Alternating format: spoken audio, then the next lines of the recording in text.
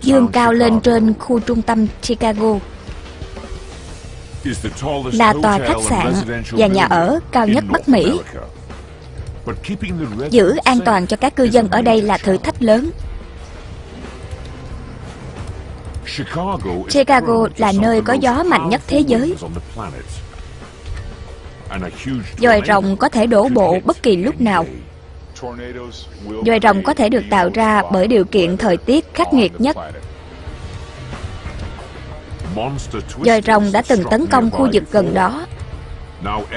Chuyên gia cảnh báo khu trung tâm có thể là mục tiêu tiếp theo. Khu trung tâm Chicago có thể trùng dòi rồng lớn.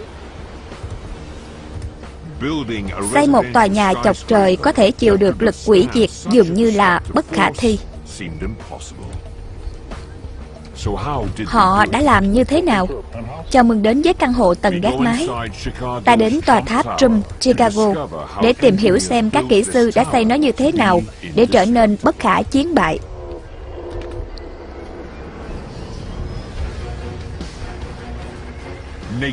Mẹ thiên nhiên giải phóng các lực lượng mạnh nhất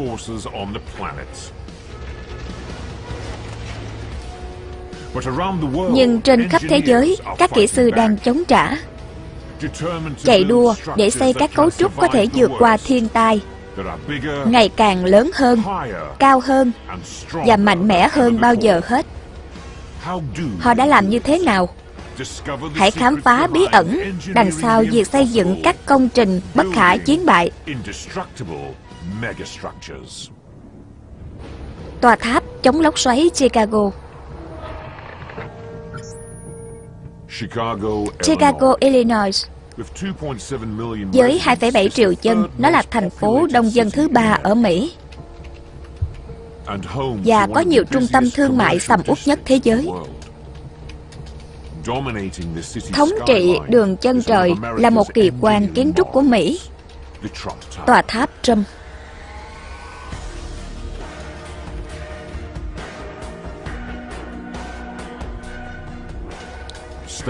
Nó cao 415 mét,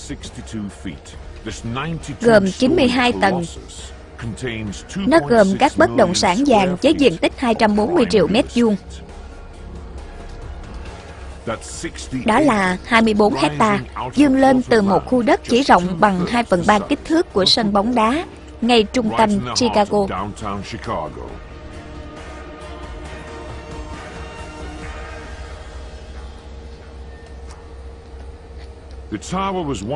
Tòa tháp từng là đứa con trí tuệ của ông trùm tài chính và truyền thông Donald Trump.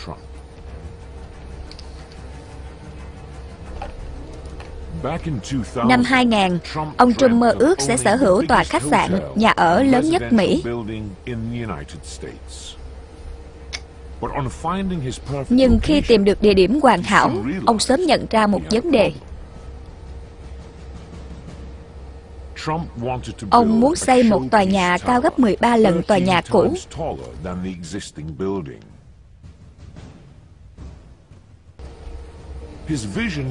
Ông muốn nó có căn hộ cao nhất nước Mỹ, mang đến cuộc sống xa hoa cho khách và cư dân ở đó. Khi nghiên cứu khu đất, các kỹ sư thấy nó đủ dài nhưng lại quá hẹp so với các tòa nhà bên cạnh thì không thể làm gì với chiều rộng đó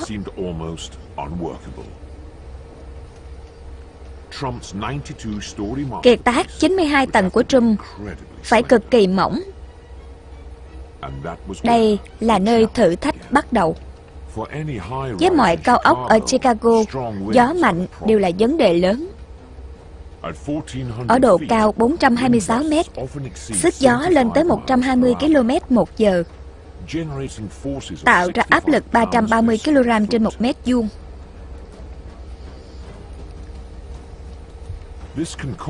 Vì khu đất của Trump hẹp, nên tòa nhà 92 tầng còn đung đưa nhiều hơn.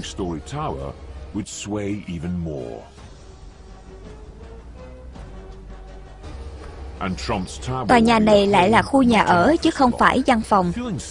Nhiều người trả tiền để sống ở đây sẽ không thích cảm giác say sóng. Kiến trúc sư Lucas Trikestat sẽ giải thích lý do.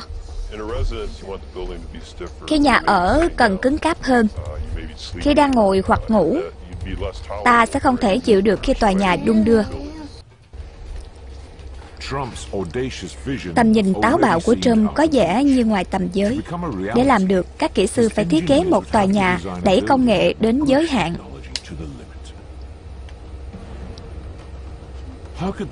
Làm sao họ có thể xây một tòa tháp cao trên một miếng đất nhỏ như thế? Thử thách còn đáng ngại hơn. Vài ngày trước, dòi rồng tấn công Chicago. Chicago nằm trong khu vực có nhiều dòi rồng nhất. Hành lang lốc xoáy là khu vực chạy từ Bắc đến Nam. Từ dãy Rocky ở phía Tây đến dãy Appalachian ở phía Đông. Giữa hai dãy núi này, khí nóng ẩm đi lên phía Bắc từ vịnh Mexico gặp gió mạnh đến từ phía Tây. Chúng va chạm với nhau tạo ra các cơn lốc xoáy và có sức phá hủy lớn. Bão ở đây có thể sinh ra một ngàn dòi rồng mỗi năm. Phần cực bắc của khu vực này là Chicago. Dòi rồng thường xảy ra nhất với cường độ mạnh nhất là ở Chicago, khi một luồng lạnh đến gần, hút vào nhiều không khí nóng ẩm, bất ổn từ vịnh Mexico. Dòi rồng hình thành trong bão khi khí nóng ẩm gần mặt đất gặp khí khô lạnh hơn và cao hơn.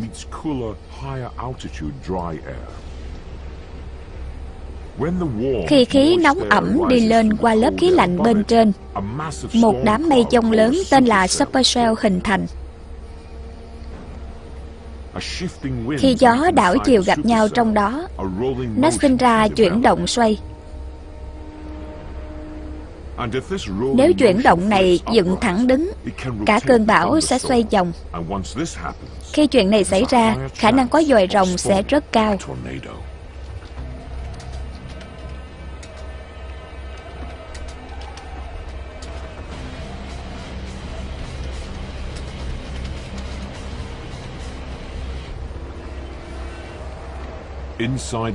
Bên trong dòi rồng, tốc độ gió có thể lên tới 500 km một giờ.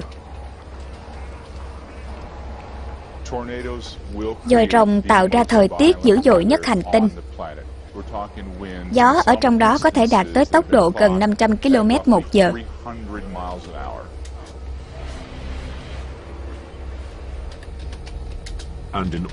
Vào tháng 8 năm 1990, những cơn gió 500 km một giờ tiến vào cách trung tâm Chicago 65 km. Khi dòi rồng Plainfield tàn phá cả khu này, dòi rồng Plainfield là cấp F5, cấp mạnh nhất. Trên đường đi, nó làm chết 29 người, 350 người bị thương và tổn thất 165 triệu đô la. Và đã lâu không có dòi rồng cấp F5 nữa. Nhiều thập kỷ này không thấy dòi rồng lớn xuất hiện ở đây, nên nó có thể xảy ra bất cứ lúc nào.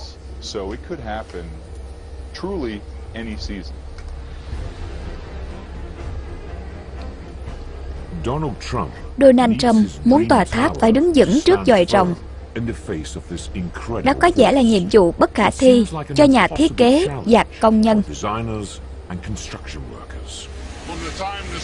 Từ lúc bê tông chạm nước, ta có 90 phút để đưa nó lên tòa tháp và bơm vào.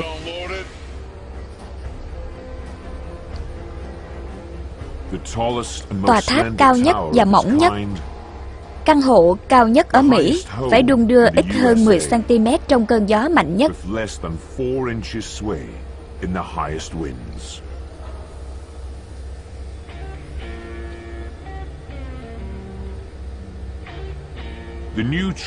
Ở độ cao 415 mét, nó là công trình cao thứ ba ở Mỹ. Nhưng nó không chỉ có một mình Chicago có hơn 120 nhà chọc trời ở khu trung tâm, tức là 32 tòa nhà chọc trời trên một km vuông. That's 80 for every square mile. Most were built using the traditional Đa số các tòa nhà dùng kỹ thuật xây truyền thống, khung thép. Back in the 1920s, Năm in construction. 1920 đã diễn ra cuộc cách mạng xây dựng. Các kỹ sư bỏ tường gạch chuyển sang khung thép nhẹ và bền. Họ nhận ra có thể xây các tòa nhà cao hơn bao giờ hết. Nhà chọc trời ra đời. Song các kỹ sư của Trump định xây tòa tháp sẽ là tòa đầu tiên trong gần một thế kỷ không dùng khung thép vì hai lý do chính đáng.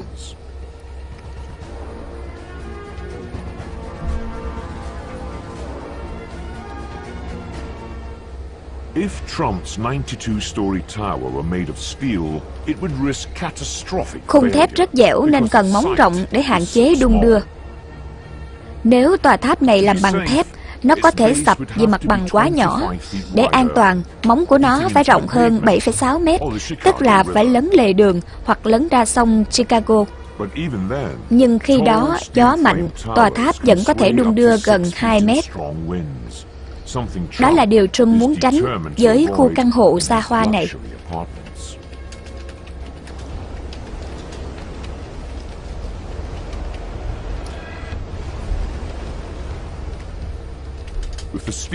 Không dùng được khung thép, kỹ sư của Trump đưa ra một phương án táo bạo. Họ thiết kế ra tòa tháp được xây hoàn toàn từ bê tông.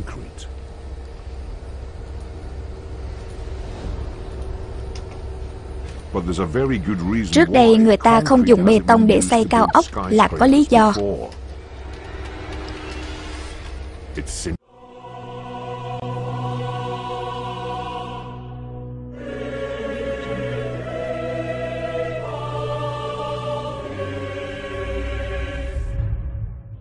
Đó là nó không đủ vững.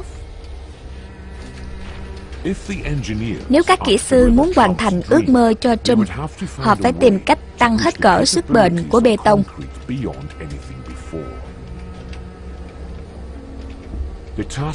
Nhiệm vụ đó được giao cho các chuyên gia sản xuất bê tông.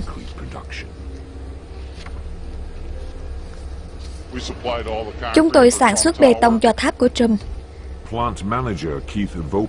Giám đốc nhà máy Keith Popelak phụ trách trộn bê tông cho dự án.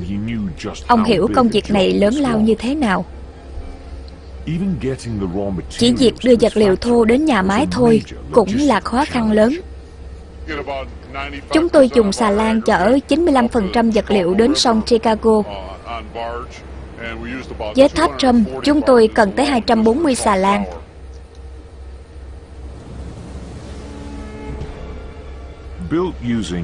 Dùng 134.000 mét khối bê tông cốt thép đủ để lấp đầy 50 bể bơi tiêu chuẩn Olympic.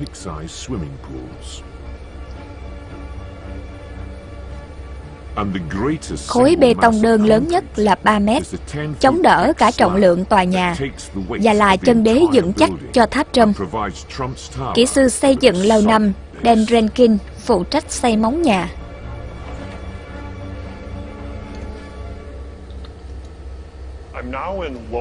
Tôi đang ở tầng hầm 4 của tháp.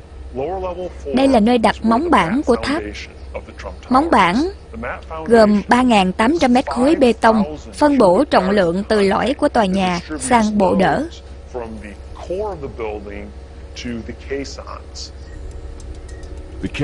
Bộ đỡ có 57 cột bê tông nối tháp vào lớp đá sâu bên dưới. Nhưng phần móng lớn đến nỗi đổ bê tông cũng cần chiến dịch lớn.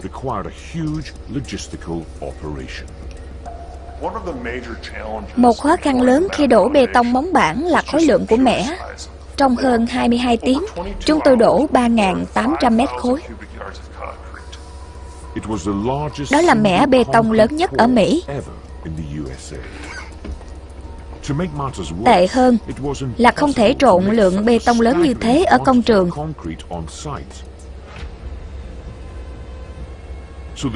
Nên chuyên gia phải trộn bê tông ở nhà máy cách đó hơn three 3 miles km, rồi đưa về công trường với tốc độ tối đa. Nếu kỹ sư muốn hoàn thành, họ phải phá kỷ lục.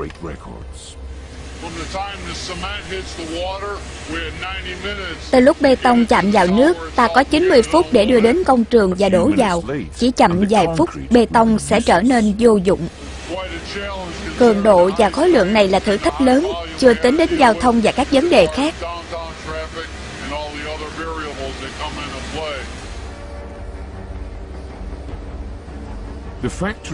Xe tải của nhà máy chở được gần 9 7 mét khối bê tông tươi.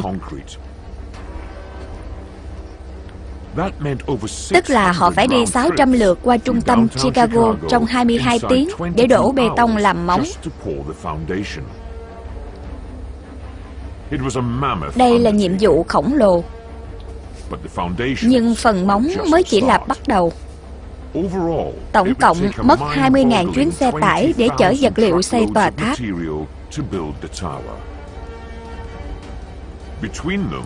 Các tài xế phải đi 60,000 96.500 miles, km, quãng đường gần gấp đôi chiều dài của trái đất. Ngay từ đầu, tháp Trump đã phá vỡ nhiều kỷ lục. And the next one was quick and Và kỷ lục tiếp theo đang đến. With the foundations in Khi xong móng, Thử thách tiếp theo là đưa xi măng lên thẳng và thật nhanh trước khi nó đông cứng. Càng lên cao thì nó càng nhanh cứng. Ta cũng cần nhiều lực để đưa nó lên cao hơn. Chưa ai từng đưa lượng bê tông nhiều như thế lên độ cao này.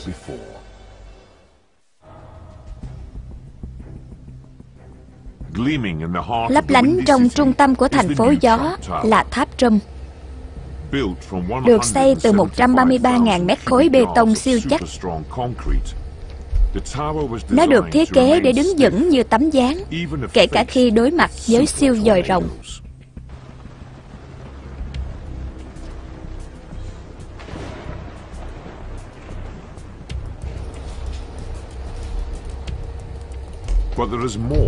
Ngoài bê tông, còn nhiều thứ khác làm nên vẻ chắc chắn của nó. Inside the structure, Bên trong cấu trúc là thiết kế thiên tài, không lộ ra bên ngoài, giúp nó đứng vững. standing strong. At the heart is a Ở giữa là lõi trung tâm lớn, gồm một loạt tường bê tông dày. Chúng khiến tòa tháp vững từ đầu đến chân. Lõi chẳng khác gì xương sống của tòa nhà. Xương sống hay lõi mang lại sức mạnh và sự ổn định, cũng như truyền trọng lực từ trên đỉnh xuống dưới móng.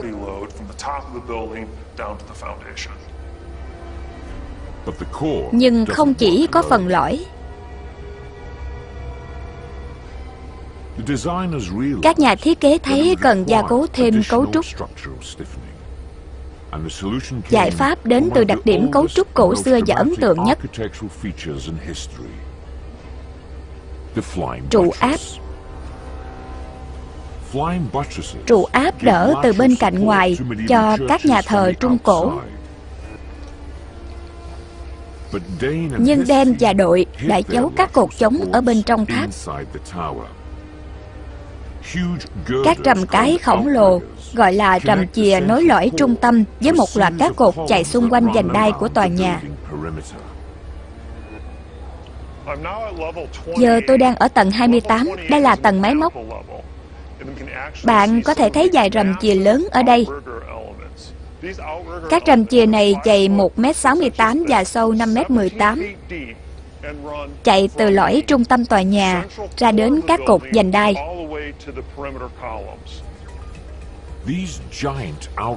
Các rầm chìa này xây bằng loại bê tông cứng nhất thế giới. Bê tông bình thường sẽ chịu được 200 đến 300 kg trên 1 cm vuông. Chúng tôi dùng loại bê tông chịu được 1.100 kg trên 1 cm vuông. Đó gọi là đẩy công nghệ bê tông tới giới hạn. 16,000 PSI Áp lực đó ngang với áp lực của xe điện chạy lên một đồng xu.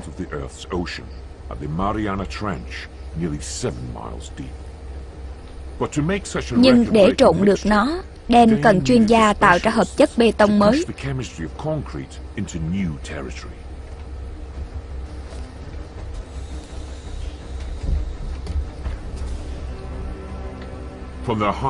Trong phòng công nghệ cao, chuyên gia trộn bê tông ở Chicago thiết kế bốn loại bê tông tối mật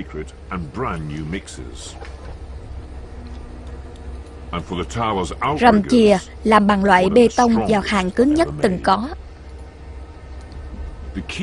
Chìa khóa nằm ở các chất trộn, số lượng và thành phần là tối mật.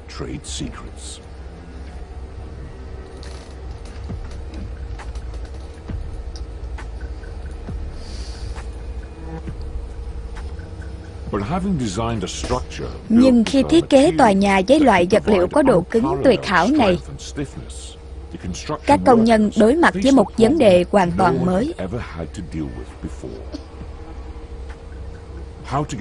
Họ cần đưa hàng tấn bê tông mới trộn lên tháp trước khi nó đông lại. Giám đốc xây dựng Brett phải tìm giải pháp. Khi mới nhìn tháp Trump, chúng tôi bắt đầu nghiên cứu cách bơm bê tông lên. Càng lên cao thì nó càng cứng. Ta cũng cần nhiều lực để đưa nó lên cao hơn. Phương pháp truyền thống là kéo từng gầu bê tông lên.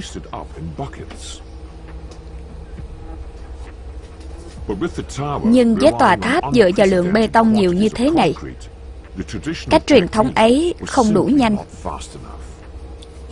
Brett phải to tìm cách khác. way. Đây là bơm bê tông chúng tôi dùng ở tháp Trump. Bê tông được bơm lên đến đỉnh từ dưới mặt đất, nơi chúng tôi đổ bê tông vào.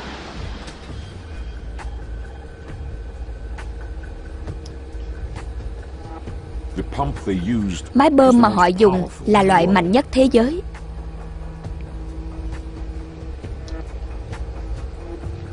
At 680 Dùng horsepower, 680 mã lực ngang với xe đua tốc độ cao. Cỗ máy này giúp kỹ sư đưa engineers to 2,7 pour tấn bê 6,000 tông một phút qua đường ống dài in 518 mét.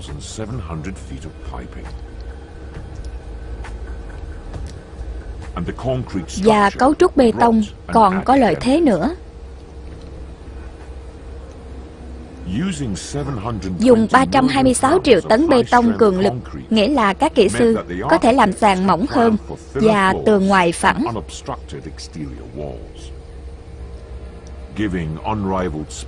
giúp cư dân ở đây có không gian rộng lớn và tầm nhìn đẹp. Một trong các lợi thế khi dùng bê tông là độ cao từ dàn đến trần có thể đến 3 mét, giúp giảm độ cao giữa các tầng đi. 10 feet, but yet your floor to floor height is much more diminished. Như vậy ta có thể xây nhiều tầng trong độ cao có sẵn. But 10-foot windows Nhưng cửa sổ to 3 lots mét cần rất nhiều kính, không tốt với tòa nhà nằm trong vòng đe dọa của dòi rồng. Nếu trời trồng mạnh, ta đứng gần cửa sổ, cửa sổ dở, ta sẽ bị kéo ra khỏi tòa nhà.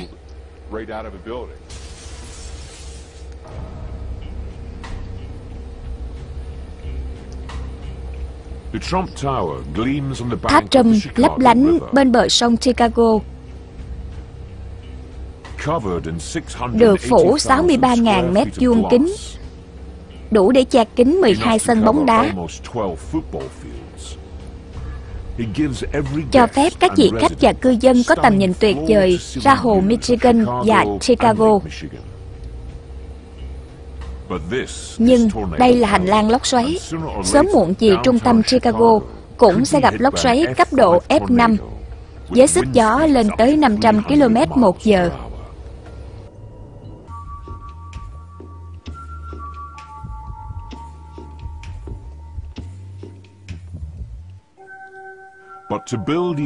Để xây lên cao hơn, kỹ sư của tương lai phải tìm cách đẩy công nghệ bê tông đi xa hơn. Bê tông có tính năng siêu bền đã được thử nghiệm, Đó là loại siêu mịn, kết hợp với sợi thép dưới đất. Nó cứng gần gấp đôi loại bê tông cứng nhất của tháp Trump. Trong tương lai, tháp Trump là tiên phong. Một thiết kế thông minh mở đường để xây các siêu tháp trở thành bất khả chiến bại.